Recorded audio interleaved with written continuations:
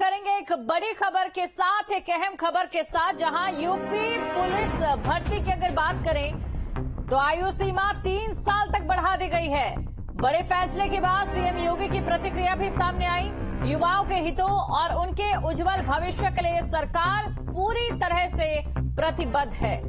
तो ये सीएम की ओर से प्रतिक्रिया दी गई है ट्वीट के ज़रिए। युवाओं के हितों और उनके भविष्य के लिए आपकी सरकार पूरी तरह से प्रतिबद्ध है।